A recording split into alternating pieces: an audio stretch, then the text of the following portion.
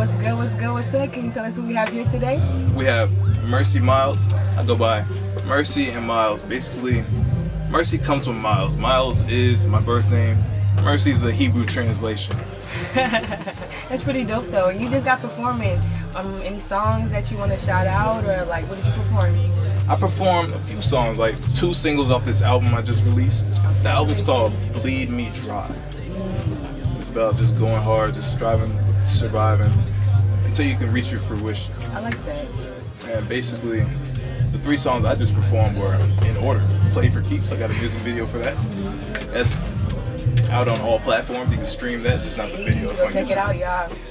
And then the next song was, it was out of order, so it was Let Me Slay 2. It's a follow up to one song I already have out. And the next one was called Don't Want to Be Seen.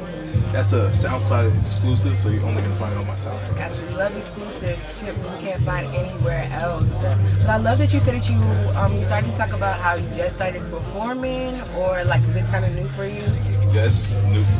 you know, I've been, you know, recording in my bedroom, recording anywhere because I'm an engineer too, so I record everybody. Like, record and Well, you've been in this beginning part of your journey in performing. I salute you to doing it. I'm pretty sure you had a great performance. I'm gonna see the recap of tonight. But is there anything else you want to leave off with the audience? A piece of yourself, uh, just who you are. I do want to say my brand is no escape, so it's more like it's not really a brand. It's more like a a virtue, basically. Face everything head on. Don't let stuff pile up because there's no escape from it. You know, you you work for whatever you're trying to build, and you'll eat from the fruits of that labor. So it's like there's no escape of whatever you're putting out. You know? I love that. All right, uh, I definitely want to shout you out.